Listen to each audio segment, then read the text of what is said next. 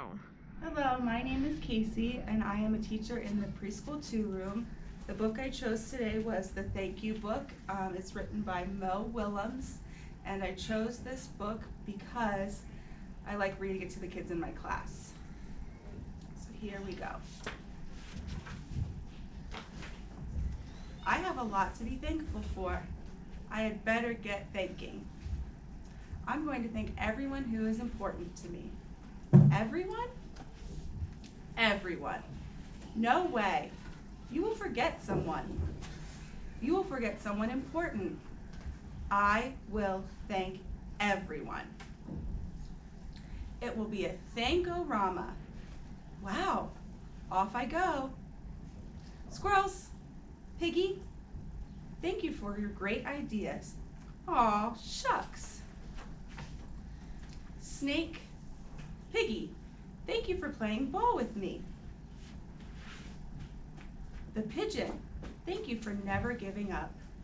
And I am sorry you do not get to be in our books. That is what you think. Thanking is nice, but you will forget someone. I will not. Mouse, birdies, rhino, hippo's big sister, barky dog, pelican, bear, hippo, worms. Thank you all for being great friends. Aw. See that, Gerald? I am thanking a machine. Piggie, you have forgotten someone important. Do not worry, Gerald. My next thanks will be a big one. Thanks, Whale. You are nice. So are you. Ice Cream Penguin, thank you for your ice cream. It is what I do. Piggie, Dr. Cat, thank you for being a great doctor. You are welcome. Piggie, Brian Bat, thank you for drawing with me. That was fun. Piggie,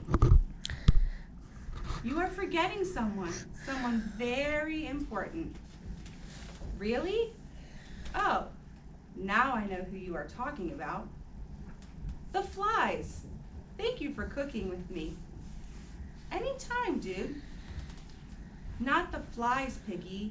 I cannot think of anyone else I have forgotten to thank, Gerald. Oops. I goofed. Thank you, thank you, thank you, Elephant Gerald. You are the best friend a pig could ever have. That means a lot to me, Piggie. But I did not think that you forgot to thank me. Who did I forget to thank? Our reader. You forgot to thank our reader. You are right. Thank you for being our reader. We could not be us without you. You are the best. You did it. Great thanking, Piggie. Thanks to you. Yep, I am one lucky pig.